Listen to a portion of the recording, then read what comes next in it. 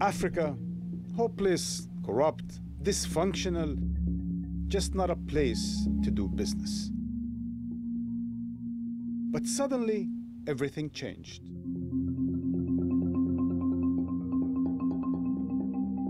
Suddenly, Africa is the place to be, and foreign investment is flooding in, and foreign powers are coming back. And that's why we've come to Africa. When the global business media is suddenly interested, when even The Economist, the neoliberal Bible of free trade and free markets, changes their forecast from hopeless to hopeful, somebody should ask the question hopeful for whom?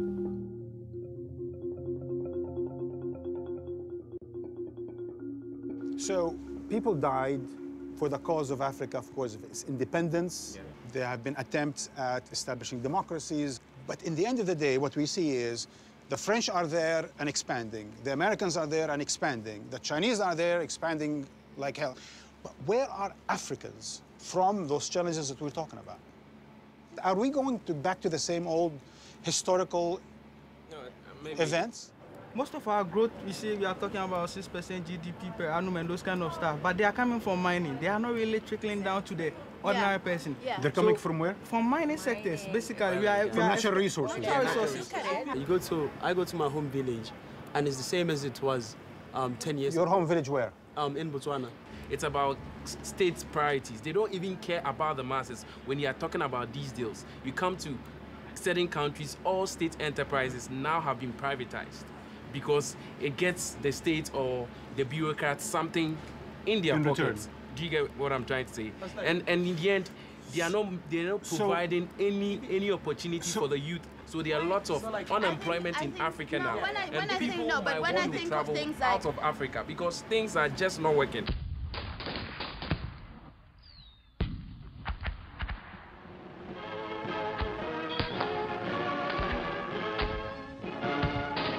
For centuries, Africa was treated like a chessboard by competing global powers. But for a moment, about half a century ago, it seemed that there was a sliver of hope. That somewhere between the darkness of colonialism and the horrors of an emerging Cold War, that popular movements were winning independence, taking matters into their hands. Africa was rising.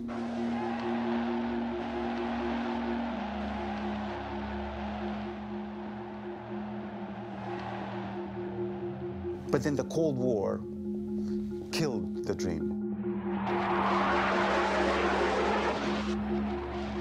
Moscow and Washington divided the continent into new spheres of influence. Proxy wars plunged the continents into civil war. But two decades after the Cold War, it seemed that Africa is rising again, that investments are flowing in. We need to ask the big question, and we need to ask it in Africa. Are Africans at last taking matters into their own hands? Or is this just another scramble for Africa?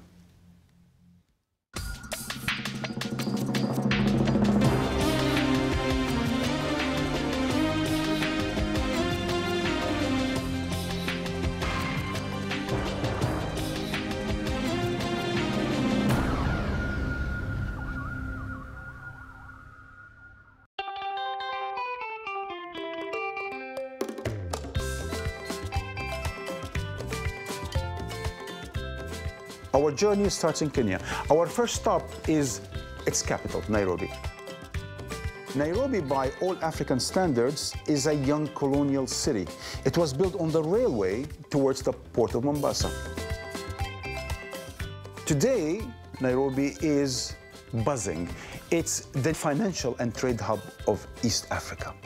You will see trucks and cranes everywhere, developers at work, except they're not from the West, they're from the East. China is now Africa's biggest trading partner. In just 10 years, China's trade with the continent has grown from 10 billion to over 200 billion dollars. At least 2,500 Chinese companies are operating in Africa, and more than a million Chinese nationals have moved here to do business. In Kenya, Chinese companies are visible everywhere, but they are remarkably camera shy. We were chased off this construction site and were turned down by dozens of Chinese firms before we found a businessman who was eager to speak with us. Kenya and Africa is a, you know, is a hopeful land and uh, is uh, in the uh, early stage of taking off.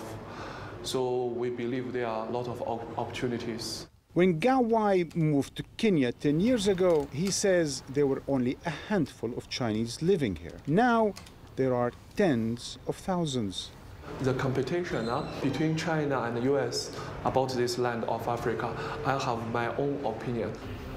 They decide to look east. Now, Kenya or Africa country will make a decision which one is better and which one I will take.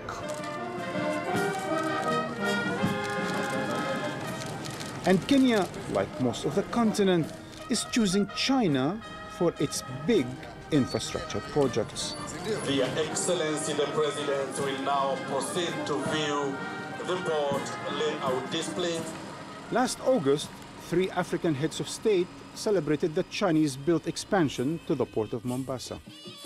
It will soon be linked to a Chinese-built railway connecting five East African countries. Your Excellencies, that is what our region needs.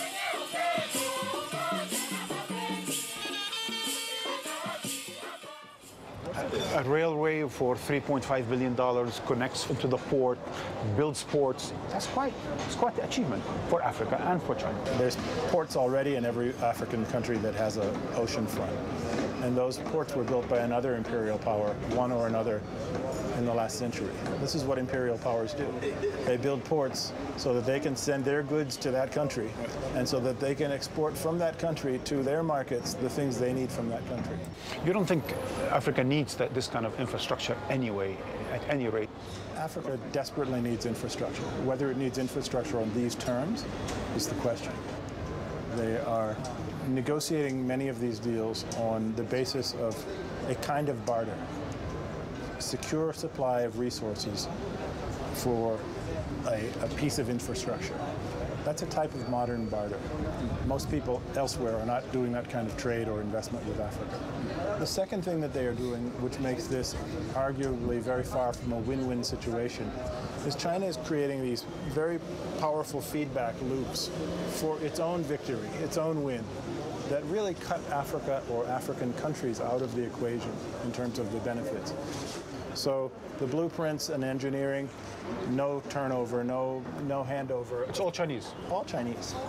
The workers, they send over 500 or 1,000 workers. They do this for two years. I've been on projects where even the people pushing wheelbarrows are Chinese. So what you're saying is that the loan is Chinese, the investment is Chinese, the plans are Chinese, the designs are Chinese, and the implementations and the workers are Chinese? Many times even the, the materials are Chinese. Oh, you're actually importing the materials? The salaries of the workers are typically, or at least very often, banked in China. So win-win is a propaganda slogan. It's not a, an accurate description of this sort of arrangement imperialism evolves. It's different from age to age. The circumstances change. What's, what doesn't change is the balance of power between the two parties that are engaged in imperialism. The weaker and the stronger. The weaker and the stronger. And the, the weaker has an inability to resist or a lack of alternatives. Or to bargain. And that's exactly what we're talking about.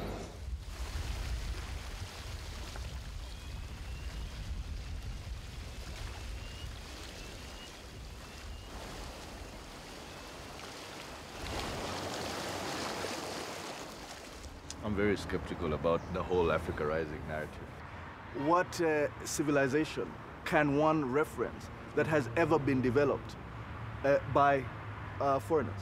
But you also seems to be creating a, an elite that are benefiting from all the investments, benefiting from the selling of the land, benefiting from the new security situation. I think the old word for that, uh, if you read your Frantz Fanon, is, is um, the comprador elite. This is not new. We just have um, um, a new a new a new class of elites. You have your kind of post structural adjustment oligarchs and others, you know, who who are now um, skimming off the top of these new deals.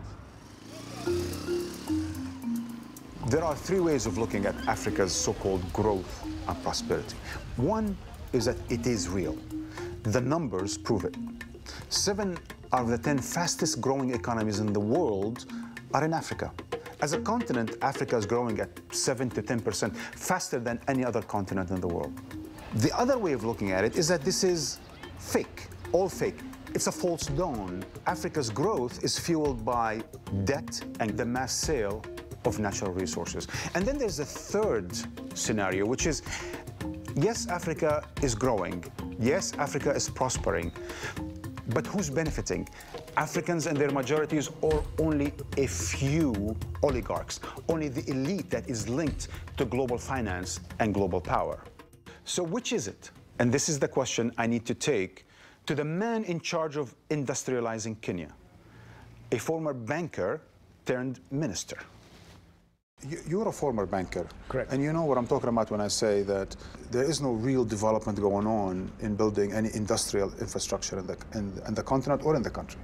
In fact, your low-tech manufacturing has dropped in terms of production and in terms of exports. And now you're importing a huge number of Chinese cheap products. Correct. China turned into the factory of the world where not only Africa, but many you know, countries globally have moved their productions into China. This is now the perfect time for Africa to become what China was many years ago. But you're signing contracts that say 70% of the labor for all these projects is going to be Chinese. Well, I mean, there are cases like that in different parts. It's not like Most that, cases, It's not like that across Africa. There's no infrastructure project that Chinese do without it being put on a tender, international tender, people bid, and the most appropriate. And the Chinese win. Chinese win. So- that is the so- nature of the open nation. But we know that even before the process starts because they're providing the credit. They're the ones who are ready to do the barter. And they are ready to, un, to, to underprice the rest because they, are, they, they have a long-term plan. There are things that you can do as a country, as government, and there are things that you need to do with support of private capital or, or, or foreign capital. We must make the grounds convenient and conducive for people to want to come and invest in Africa. But, but for the time being, this is all theory.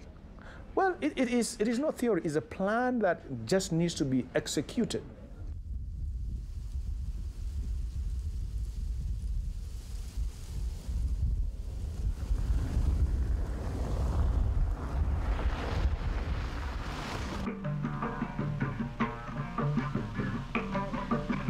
dabarkii adowgay kii naasiyo abaydimo kii ila wadaago For most of us non-Africans, this is the exotic continent. Open skies, open horizon, natural beauty. Global powers have long projected their fantasies and fears on Africa. The continent represents expanding markets, cheap labor, and natural resources.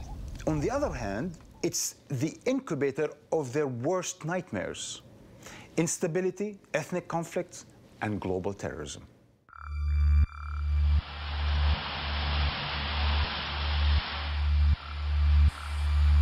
With the drawdowns in Iraq and Afghanistan, the US war on terror has pivoted to Africa.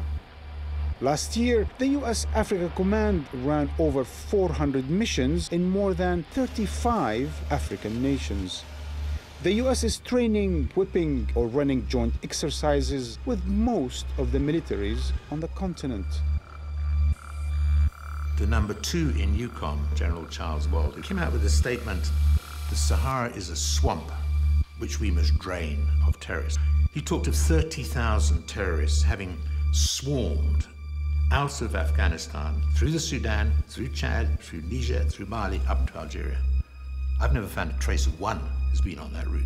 Professor Jeremy Keenan has written five books about Africa and the war on terror. He argues that the threat of terrorism was initially greatly exaggerated, both by the US military and by African leaders. So you have these fairly dictatorial governments basically referring to any civil society movement that had any angst or complaint against the government. They were being branded as sort of terrorist. It's what I call terrorism rents. You're actually getting money off fabricating, creating terrorists.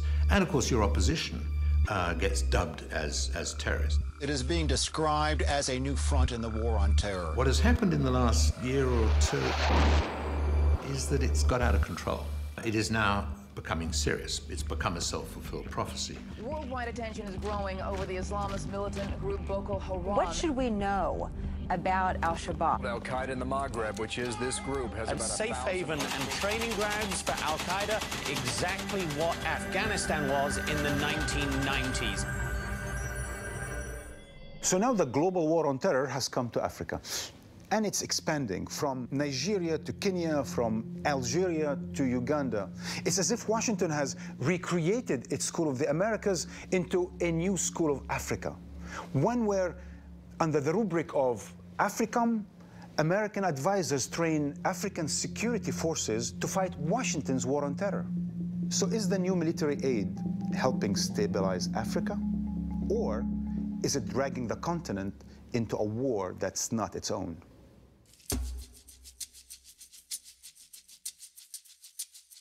We're in a very tough neighborhood in East Africa, and Kenya has always been something of a safe haven.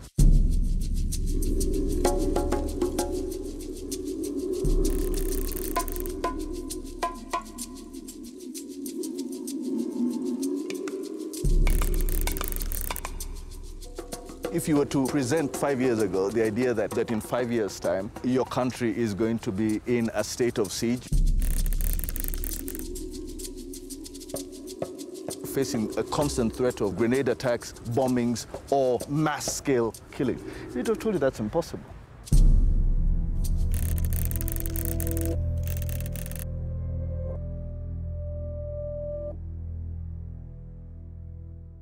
The African intervention, in Somalia especially, um, was predicated on the idea that uh, um, um, America was going to avoid embarrassment by putting its own boots on the ground, so African boots could be put on the ground. Right.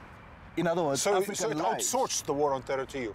Yes, The war on terror to absolutely, you? So- Absolutely. and do you feel more secure now? Of course not.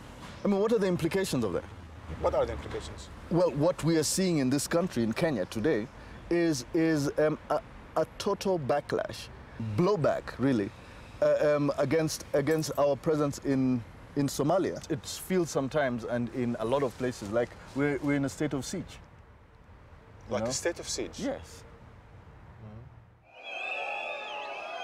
Barcilelo isn't alone in these feelings. Even the prime minister who first sent troops to Somalia has had a change of heart. He now finds himself in the opposition and is calling for a troop withdrawal. Prime Minister, have you enlisted in the U.S. war on terror in East Africa? Yes, um, it's unfortunate that uh, we are in the midst of the war on terror. It's something that circumstances has uh, imposed on us. And it started under you. You're the one who sent the troops to Somalia. Yes. We called it uh, Operation Linda Nchi, meaning that there's operation to protect the country. But don't you think occupation of Somalia generates more radicalism and extremism? I think so. That's why we must have uh, an exit strategy. But you don't think the president is the selling boy because he just declared a war on terror. Still uh, uh, in uh, a fighting mood. He's in a fighting mood. Yeah. That does not bode well for the country. Because as you said, the continent is probably going to need more stability, not, not more war. Yeah, that's what we need. More stability than, than war. Exactly. It's war on terror, war on terror. now, might, might have not reached Botswana yet, but I think It's in Kenya. Oh, tell me about this war on terror. Who is it helping? I mean, i- when when they keep giving us military aid, it's keeping the current government in power. So you cry war on terror, you get aid, and you, stay in power. And you stay in power. Are you saying that the, the new military solutions of training troops, putting money in new security structures, you think that Yeah, does that's- help that's- that's- bring that's, peace? That's, that's not help. All you're gonna deal with them is to shoot them and kill them. You're not solving the problem. The Fighting, I think, creates escalation. I think sometimes an eye for an eye. No, we did not invade Somalia just because we wanted to invade Somalia or because it's fun, right? Yeah, True, We invaded Somalia because it was wasn't destabilizing fun? Kenya. No, it wasn't. it wasn't fun at all. It was But destabilizing. it was destabilizing Kenya. Now, now, now I'm curious. Yeah. You actually think Kenya can stabilize Somalia? No, I don't think Kenya can stabilize Somalia. So why send the military in then? Yeah. It's just to Okay. make the Look situation, like it to make the situation a Somalia. bit better. A bit Give me one country that was stabilized using Through military invasion. intervention. Give me one country. Afghanistan. But I would Maybe Lebanon. Lebanon. Wait, wait, wait, wait. I, just, I don't believe the Kenyan military was ever in Somalia to, To- occupy Somalia. Exactly. It was to at least try to stabilize Somalia in as much as we can and then move out.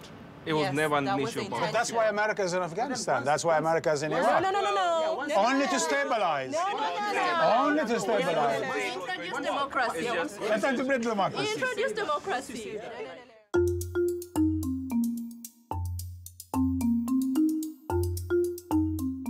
It's perverse, even if it's predictable, that Washington would find its way back to Africa under the pretext of the global war on terror.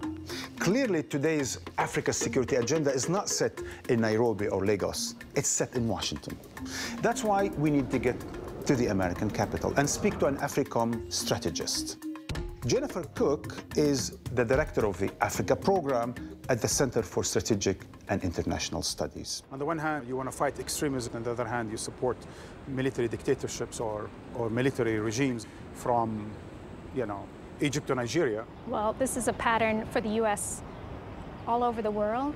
I mean, this is, it's not anything new in Africa. What is new in Africa is that we pay a lot more attention because we tend to think we have fewer interests in Africa. It's almost like the U.S. can have morals where it doesn't have interests in a way. Uh, What are America's interests in Africa? Well, obviously there's the security agenda. There's a growing economic agenda as well. There's also the competition, I think, for political ideas and ideologies.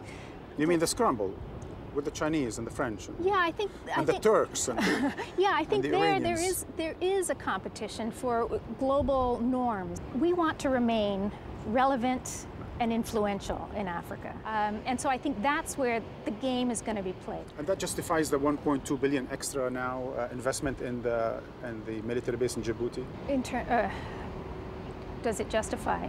Well, the problem is in the U.S. system, the military is probably the best resource Right. tool that we have. If we had a limited budget, I would say we have to be very careful to balance that with the military. You can train a military in Mali to, you know, shoot straight and, and do the right thing.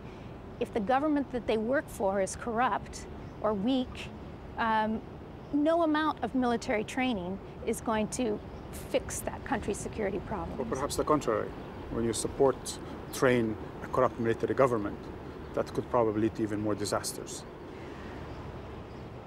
Uh, yes, you, but you have to get the, the mix of both, I think. It's good to end on an, an agreement. Good grief. When we come back, French troops on African soil.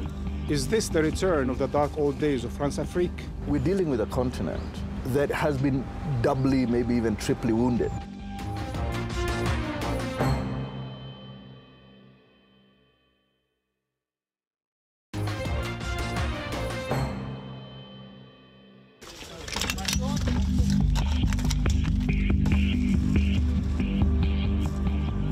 France saying it's just hours from direct combat with Al Qaeda fighters. France is involved now. Now, the French are leading the Well, I know fight. it sort of uh, offends most American sensibilities. In fact, the most aggressive country fighting the jihad is France, if you can believe it.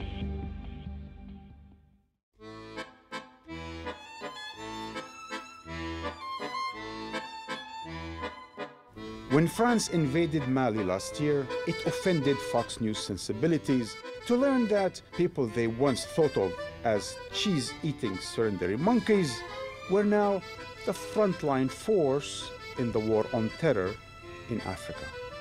Here in Paris, the news was hardly shocking. Many still think of Francophone Africa as their backyard. But it did mark a dramatic change in policy.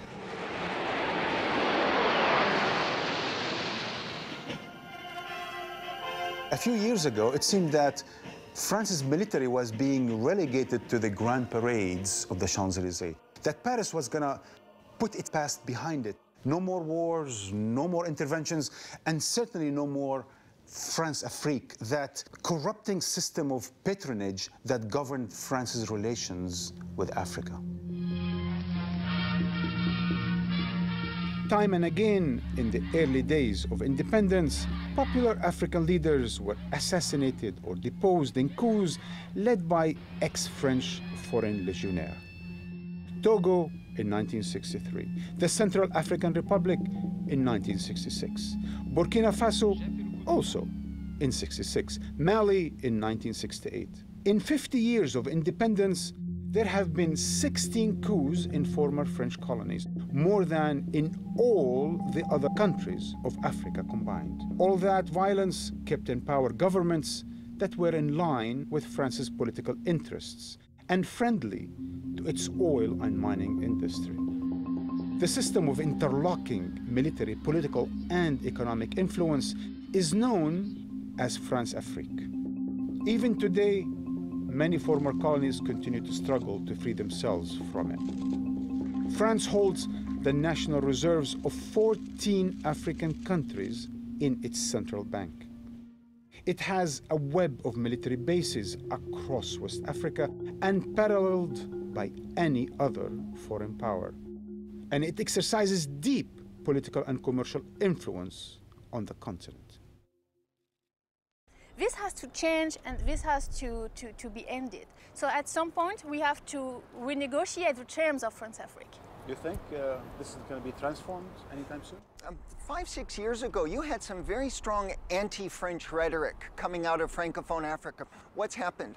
um, the actors who were speaking against France have been replaced. Like who? Like where? Well, for example, Ivory Coast, and where else? France militarily intervened to impose a pro-French ruler, or in Mali, where Francois Hollande militarily intervened, suppressing a popular indigenous movement in the north to impose a southern leader through what you could barely call real elections. And that southern leader now, IBK, is a servant of France. In Niger, where uh, Mahamadou Issoufou has, uh, who is a former employee of the French uranium country Areva, is now the president of Niger and recently signed a 40-year concession giving away Niger's only non-renewable natural resource, uranium. This is an exhausting list.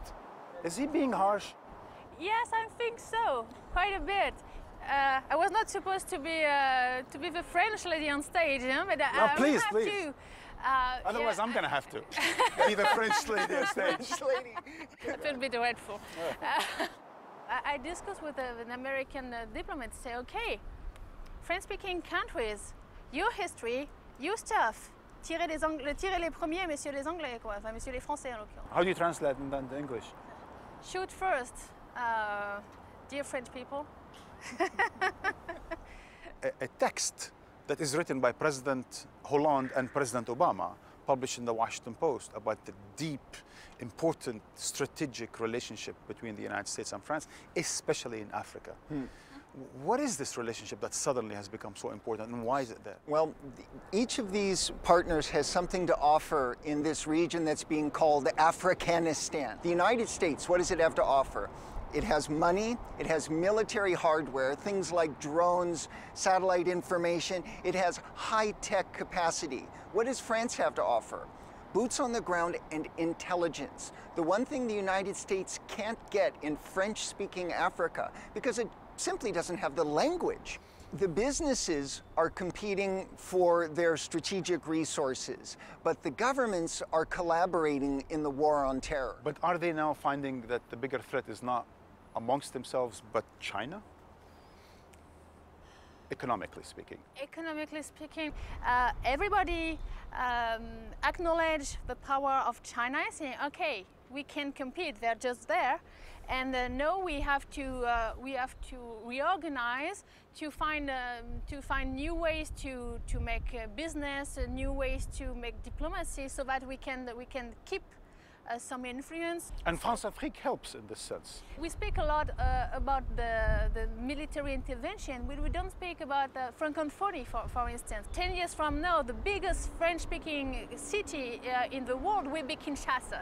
So it's something very, very, very important. the cultural entrenchment in Africa is an asset for Paris. Yes, and uh, we, we aim to use it um, strategically. And so, in that sense, France and the US are getting involved to perhaps confront or contrast with the Chinese involvement? Just to keep uh, their share.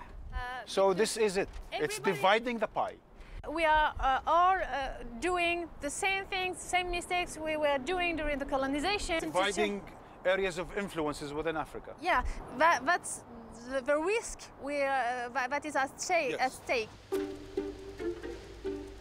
You know, it's puzzling to me that the same France that condemned the American-British invasion of Iraq would be so in denial over its own military interventions in Africa. Now, here you have a country that is capable of debating anything from the smell of cheese to France's rightful place in Europe.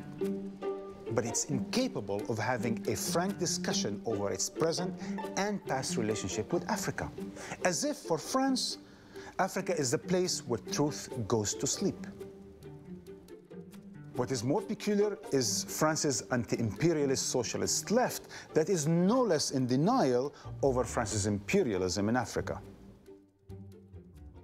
So how do you feel now about France enlisting in America's war on terrorism in Africa?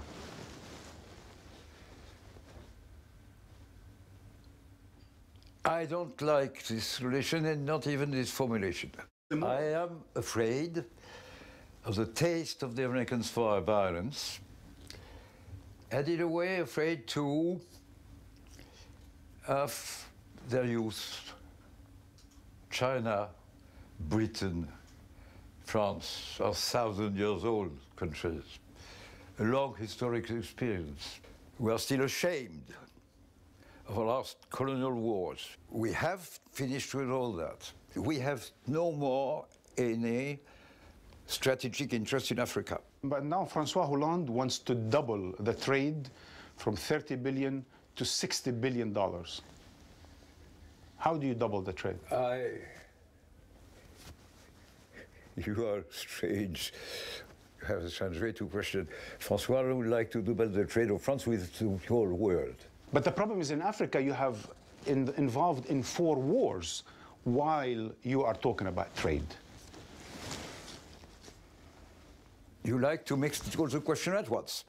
Okay. They are mixed. The French reaction is the duty left by history it puts on us an obligation to go there, even if alone. You cannot rub out history, it's not my fault. Hmm. France is a force, let's call it a force of stability in Africa, meaning Africans look to France, it has 10,000 soldiers, it has multiple bases, and it's involved in war, in, in intelligence on the continent. So it's normal for them to preference France for their trade because France is a power in Africa. Maybe for them. In my vision, we are fed up with all that. I would have preferred not to have to go to Mali, not to have to Central Africa. But take Mali. They call for help. No one was ready. America was too busy with uh, Iraq, where should, they should never have been, but they are. Anyway, we helped to destroy the killers. It was a two months operation. For the rest, it's their affair. But you're staying there in Mali. You're not leaving Mali. Even after the UN comes. I am as sad as you are that all these Muslims between themselves are not capable to find ways to speak and to reconstruct friendship. All the new murderous groups, the religiously motivated religious groups, yep. have all of them come out of result of foreign intervention. Al-Qaeda in Afghanistan, ISIS in Iraq, Hezbollah in Lebanon, Hamas in Palestine, Shabab in Somalia, etc., etc. Every time there is a foreign military intervention, it creates radical, extremist, violent groups. Aren't you doing the same thing in Sahel today? I'm not sure you're right. You may be. It's factual. I don't permit you to take so quick conclusions. It's another conversation. Are you trying to if bring... there is mm. a terrorist zone in Central Africa.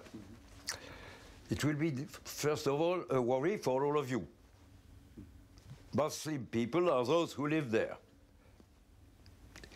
The better you manage without calling for us is the best. Up to you to treat the problem. You will not draw me. You will not draw France backwards to colonialism.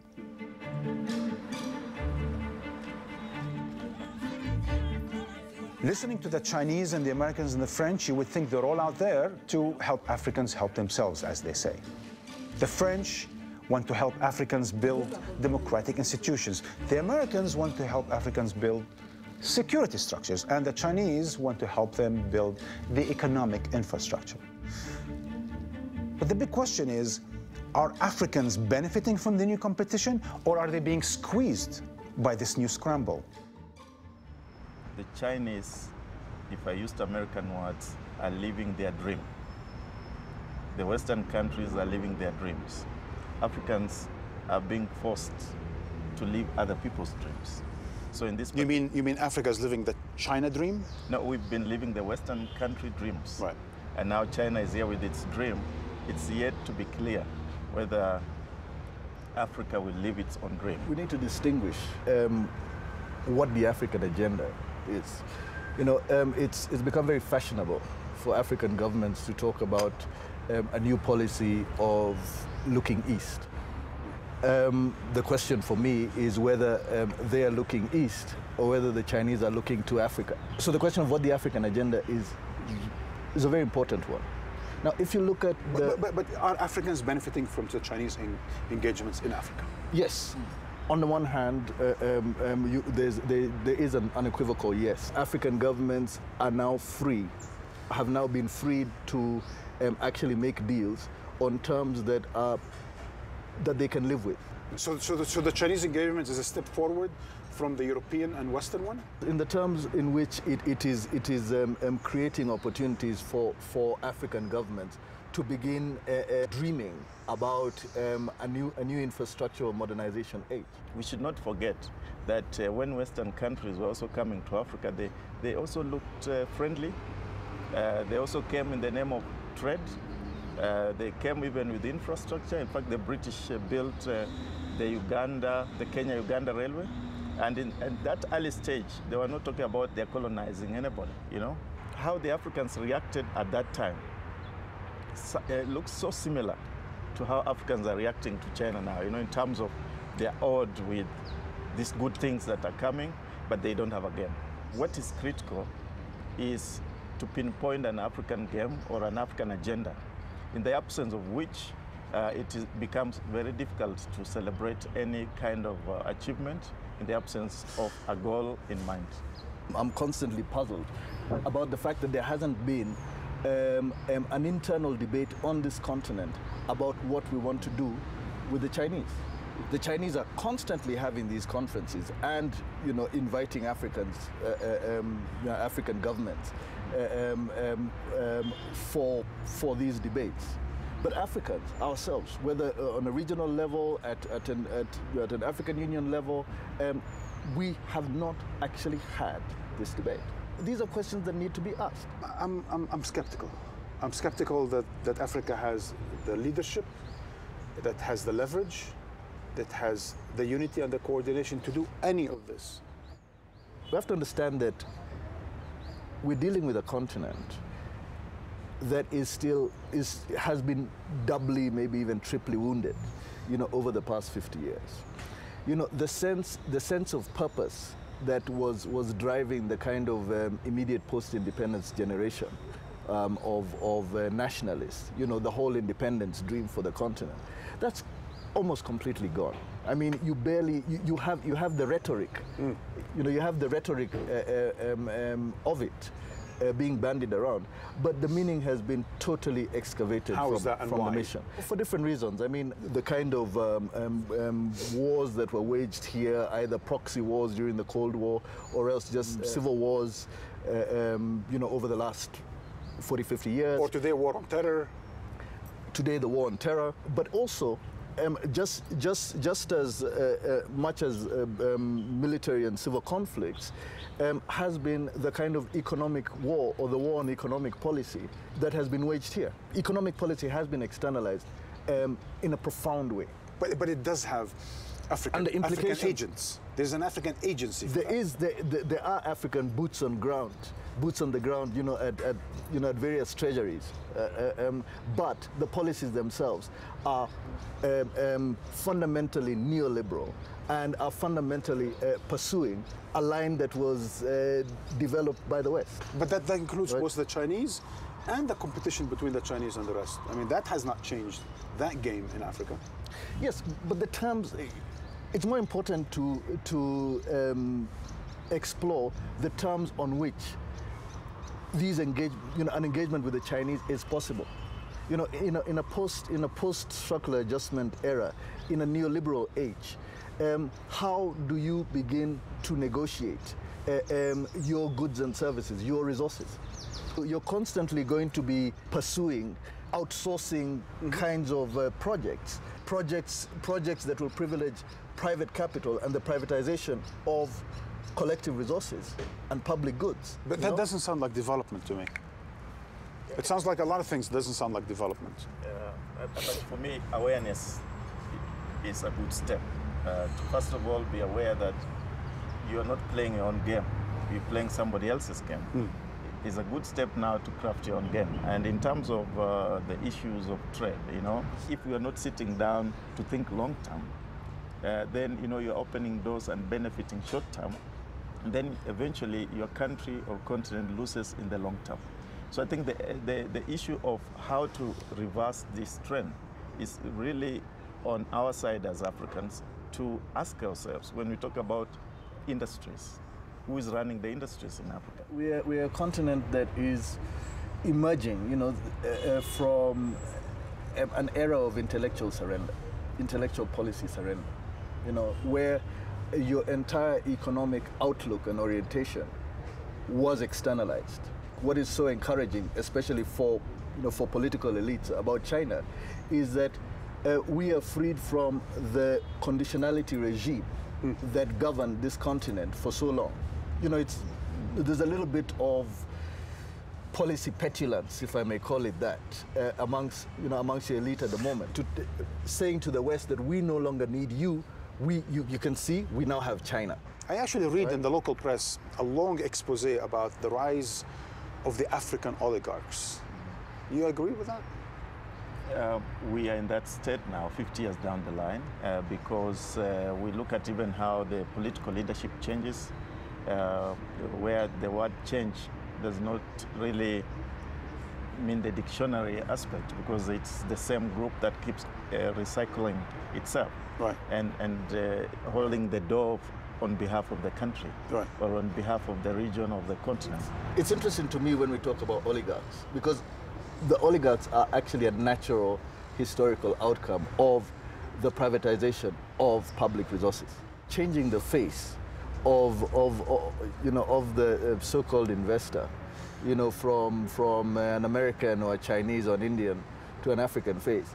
You know, it doesn't change the nature of, of, of um, the kind of exploitative, extractive policies that, that, that uh, um, um, are already in motion. What you actually require is to totally reverse or transform um, um, the nature of the game.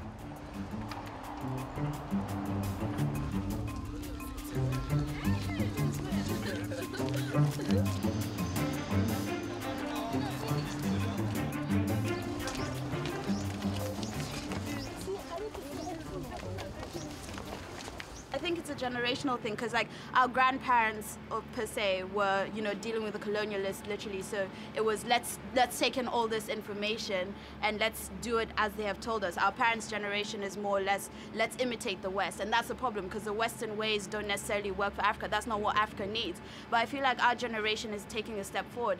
I think part of the problem is people thinking there's no hope there's no room for change. And that's that's an old thinking. So we need to flush out the old you know, and encourage the new, encourage the new ways of thinking and bring that forward. But the question is, now that you have multiple global corporations and powers interested in Africa, is that giving you more room to maneuver and to get better deals, or is that sandwiching you in I among think- I various think- I think interests? One thing, one thing also we should realize is most of most of the time Africans we negotiate as single entities. Yeah. With- Yeah. If Europe is negotiating, you see the European the Union, European you see Union, the United yeah. States of Africa, you see China as a very global major power. But Africa, we go as Ghana, we go as Sierra Leone, we go as Nigeria. You don't have bargaining power. Yeah, it's yeah, just yeah. simple economics. Your bargaining power is not strength. We need, we need to negotiate as a bloc. And I see African Capacity Building Foundation, African Development Bank, they should really try and maybe think about ways of we going as speaking with one voice. That's the But only way we can go. It takes a movement. It takes a number of people getting into the system and changing the system from the inside out. Because otherwise, as individuals, you go and you're fought by the system, and you get caught in the system, and you you you become redundant. I don't want to be in the you know non-governmental organization. I want to be in the government. The government has the last say. The government has the last say on how much tax you pay. You know, I agree. in the private sector. In the so and when you go to these meetings and you listen to what the government officials have to say, and you're wondering, oh my God, is this the best we've got? Because as much of intellectual capacity, they don't have so much. They never demand for anything. Like So it doesn't have to be just NGOs or business. Yeah. Yeah. People needs to get into the decision making Yeah, they need to- that's and change government. Exactly. We have the young generation, we will change it. Come on. No, no. No, we are the young generation. We will change it. Yeah. I don't know about you, but I'm not buying into this whole French Chinese American argument that they're in the continent to help Africans help themselves. You know, we at Empire, we take it for granted that global powers act out of self interest. But what's been striking for me making this episode is the dynamism and determination of African youth. Those who make up 70% of the continent's population. Their political maturity has been striking to me. They have this Pan African vision that makes it indispensable for African countries and peoples to work together in order to turn the tables on those who are trying to carve the continent into pieces. Cliche? Perhaps. Simple? Yes. But I say brilliant.